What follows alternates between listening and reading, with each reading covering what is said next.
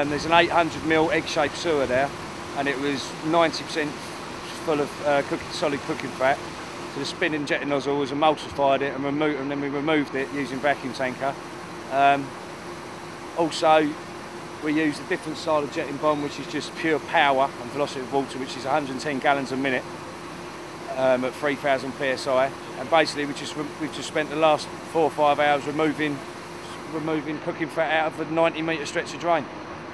What was all that around the actual edge that we could The, see on the, the white, Yeah. that's still cooking fat. It's a, a small amount still left there, which is impregnated into the brickwork. So how long do you think that's been there? I would say 10 years. I would say it's a 10. It's, the build-up was huge. It's the worst. I, it's the most I've ever seen in a in an 800 mil sewer. It was 90, 95 percent full. Um, yeah, that's the worst I've ever seen. So what, what have you done to get it out and how far have you got it?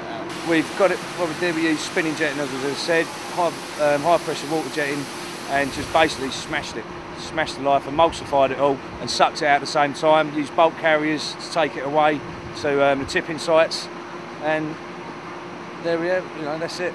Cooking fat is the worst problem in London. So due to the high rise in every every other shop in town.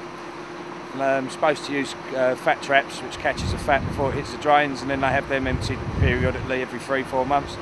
And um, this place doesn't seem to have one. And uh, yeah, so it's just going straight into the drain.